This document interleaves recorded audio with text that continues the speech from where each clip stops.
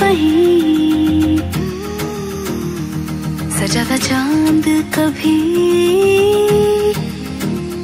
खिली उमंग नहीं। फिर से उड़ी